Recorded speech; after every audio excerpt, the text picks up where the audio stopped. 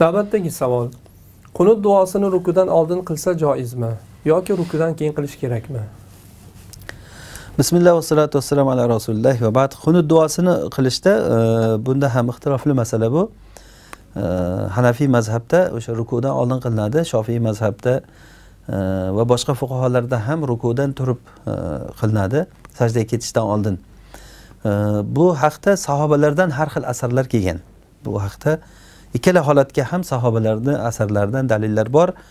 Shuning uchun ham bunda ish kengroq. Vallohu alam. Bu masalada ish keng. Ya'ni tor olib turib inson bitta narsani ushlab olayotgan holat emas bu. Duo bu qunut degani duo degani duoni namozda o'rinlarida demak ba'zi holatlarda bunaqa qilsa ham bo'ladi ba'zi holatlarda bunaqa qilsa ham bo'ladi. Masalan duo o'rinlari bor namozda sajdada duo qilsa bo'ladi yoki qadiy oxirida duo qilsa bo'ladi namozda. O'shanday rukuda turgan holatda duo qilinadi. E, nimada? Qunutda turgan holatda duo qilinadi. Bu rukudan oldin ham qilish bor keyin ham qilish bor. Fuqarolarni o'sha tanlagan mazhablari kim qaysi dalilda quvvatli deb bilgan bo'lsa o'shanga ergashgan.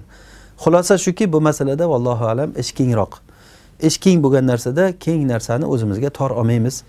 Rasululloh aytganlar kabi laqat tahajjarta vasian deganlaridek sen keng narsani o'zingga tor qilib oldingku deb inkor qilganlar. Shuning uchun ham ish keng bo'lgan masalalar sahobalar o'rtasida ixtilofli bu bizga yetib kelgan masalalar demak bunda e, masalada ish keng bo'ladi. Xosatan nafl masalalarida duo masalalarida ish keng. Vallohu alam.